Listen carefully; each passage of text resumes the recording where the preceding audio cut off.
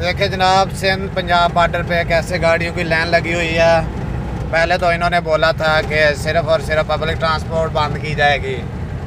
और मगर लेकिन अब ये जो बड़ी गाड़ियाँ हैं, माल लेके आ जा रही हैं, इनको भी बंद किया हुआ और इनको मुकम्मल बंद नहीं किया हुआ, इन्होंने लॉकडाउन नहीं किया हुआ।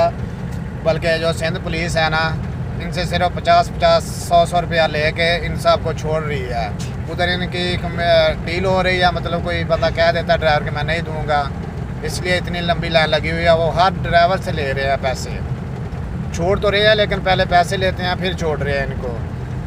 एक ऊपर से अल्लाह का हमें इतना बड़ा अजाब आया हुआ है, लेकिन ये हमारी जो सिंध पुलिस है, इनको अभी भी समझ नहीं आती है अभी भी अपने जो दो नंबर कारोबार में लगे हुए हैं। देखिए, कितनी लंबी लाइन है।